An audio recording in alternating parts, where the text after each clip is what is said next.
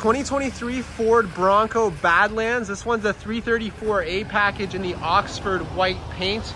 Really awesome looking full-size Bronco. Does have the four doors, of course, and you also have the advanced 4x4 on here. You're rolling on 17-inch machined gray aluminum alloy wheels with 33-inch all-terrain tires. And this one's powered by the 2.7-liter EcoBoost engine, so you get plenty of power in this Bronco. And of course, you do have that nice hard top roof on there.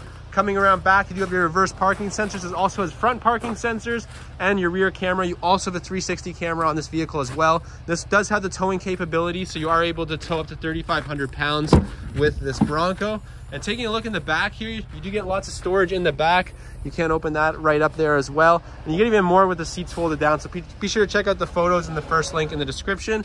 Uh, you do have your all-weather floor mats for your first and second row, and also your upgraded carpet mats here as well. And this is a uh, storage bag for the first row panels. Underneath here, you do get some more storage as well as access to your jack. And coming around to the interior of this Bronco,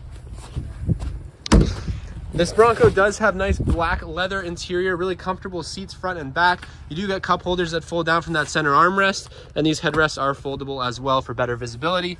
Uh, you do have plenty of power options back here, as well as your window controls and some storage pockets behind the seats here. And coming around to the front, you do get your power locks on your doors there, automatic headlights here, and really comfortable front bucket seats that are powered and they are heated as well. This does have the Lux package.